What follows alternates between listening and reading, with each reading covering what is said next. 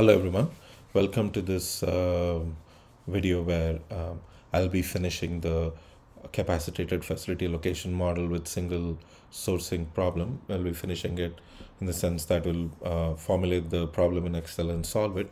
So in the previous video we saw um, the how we uh, set up our uh, decision variables, objective function, and constraints, and saw that all our decision variables, including the y variables and the x variables, they're all going to be 0, 1 or binary variables here because here the idea is that you're going to assign each of the demand locations to one of the supply regions and all supply going out to a demand location will go out of a single supply region.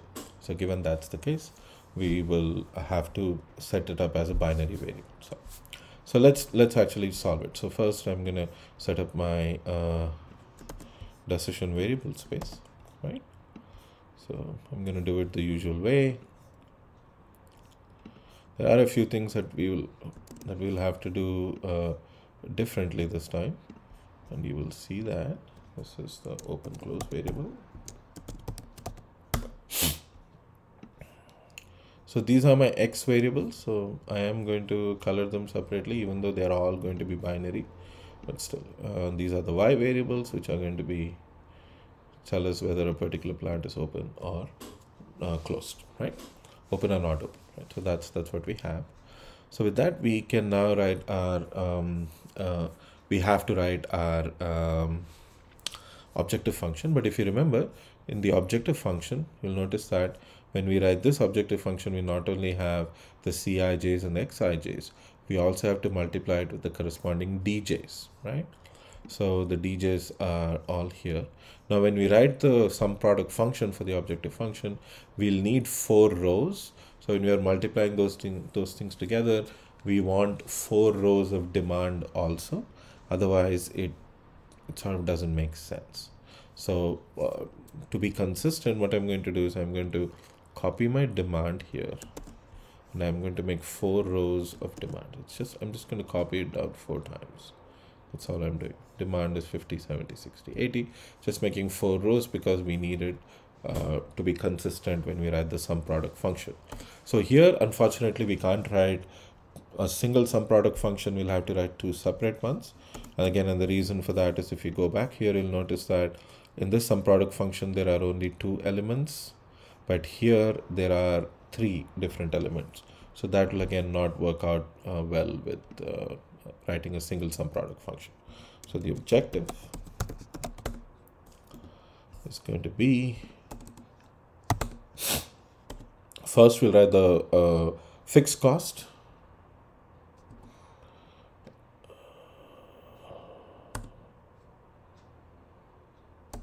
I'm going to split this up I'm going to say fixed cost first. There's no reason to split it up. You can write it as in a single line, but um, I want to split it up. So say fixed cost is the fixed cost values, comma, uh, whether or not the plants are open. So if the plants are open, the fixed costs are assessed. If the plants are not open, the fixed costs are not going to be assessed, right? It's as straightforward as that. That's the fixed cost piece. Then the variable cost piece. This is uh, where, let me insert a row.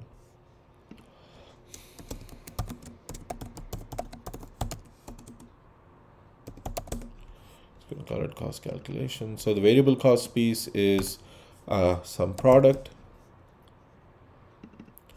of the uh, variable cost values and the xij's. Now, usually this would be enough, but the xij's here, remember, are one zero variables.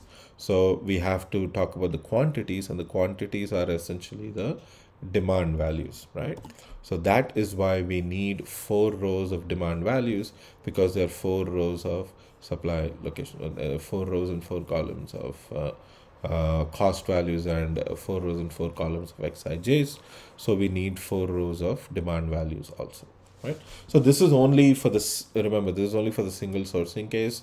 In the non-single sourcing case, everything that we did last week, you'd set it up that way, but with single sourcing, this is how you'd set it up. So as you can see, you could have written fixed and variable cost together on a single cell. You'd write one sum product, then just say plus another sum product. Instead, I wrote it this way. I'll say total cost. And this is our objective. It's the sum of the fixed cost and the variable cost values. That's my total cost. This is where my objective is. So let me just color it green just because it's money, I guess. Um, I'm gonna do that, right? So that's my objective. So I have my decision variable set up. I have my objective uh, set up. Now let's uh, do the constraints. So first let's begin with the supplier constraints. Supplier capacity constraints. Capacity. Right. Now remember when we wrote capacity constraints uh, this time, we have to write them as uh, demand times uh, the xij's uh, demand times x, xij's have to be less than or equal to the capacity. But oh i'm sorry. When you write the capacity here you have to multiply it with the y variable. The capacity is only available if the plant is open. If the plant is not open the capacity is in fact not available.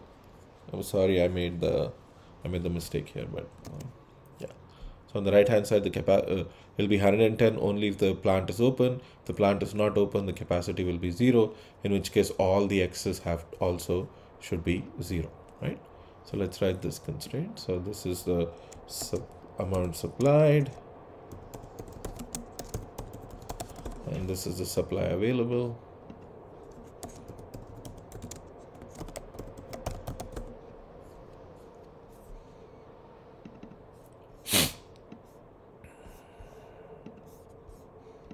So the amount supplied out of Denver, remember now if you look at the formula here, it is the product of demand and the x values, demand and x values and so on.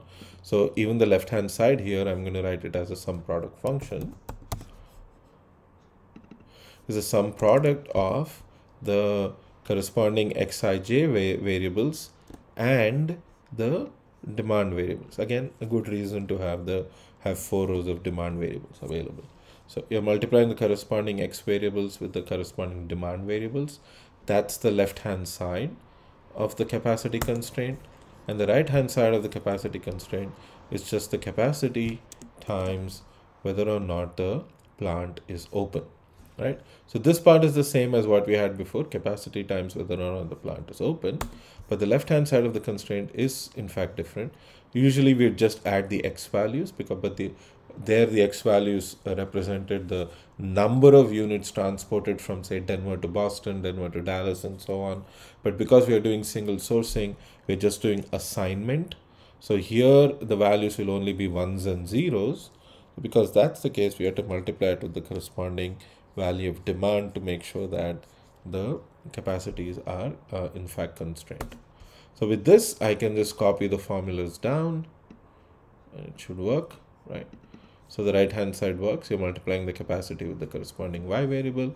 The left hand side will be the corresponding x variables and uh, the demand values, right? So that's the capacity constraint. Now let's write demand constraints.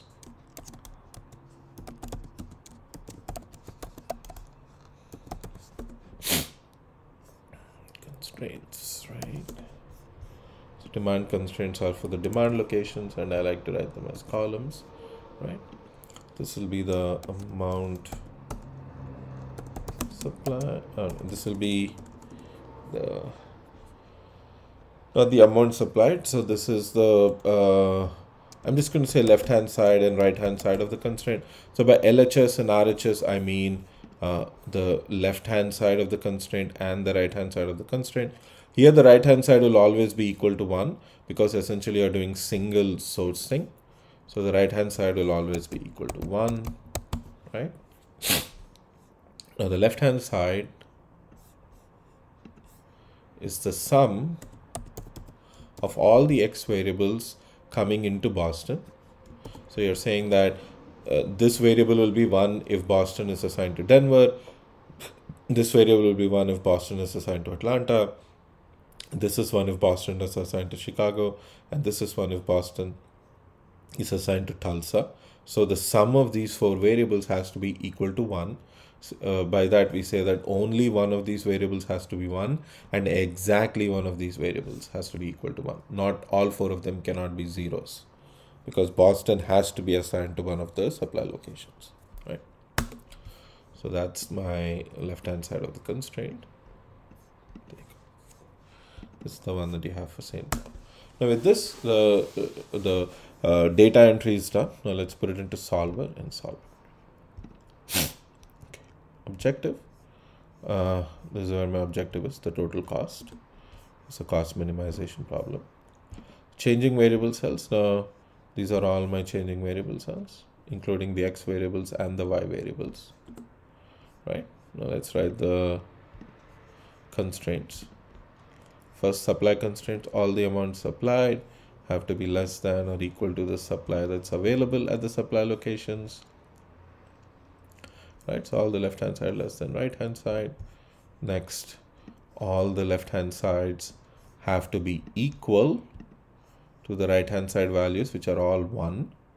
Oops, I'm sorry. This is the 4. Begin in J, this begins at J. Okay, good. So those are my, so J9 through uh, uh, L9 have to be equal to J10 through, sorry, J9 through M9 have to be equal to J10 through M10, right? So that those are my demand constraints or the single sourcing constraints. Once that's done, the last constraint that we have to write are the binary constraint. We are saying that all our variables here, every single one of them, the x's and the y's, they're all binary variables, right? Right. So click on OK.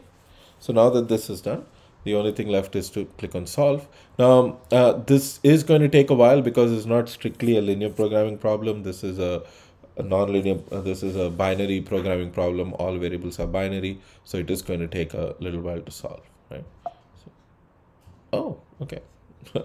I misspoke. Solver found a decent solution already. So let's, um, let's see what's going on. So according to this, we are opening uh, the Atlanta plant and the Tulsa plant. Now the Atlanta plant is going to supply Boston and St. Paul, and the Tulsa plant is going to supply Dallas and uh, Los Angeles. The total fixed costs, uh, these are all dollar values. Let me just make them dollar values and no decimals, please. Okay. So the total fixed cost is 1.85 million, total variable cost is 315,000 and the total cost is 2.165 uh, dollars, right? So you're exactly so each demand location is is assigned to exactly a single supply location. So Boston is assigned to Atlanta, Dallas is assigned to Tulsa, Los Angeles is assigned to Tulsa, and St. Paul is assigned to Atlanta, right? And then this is how uh, so total amount, so the amount supplied and supply available are are mostly matching. So Atlanta plant, you're using up all the supply.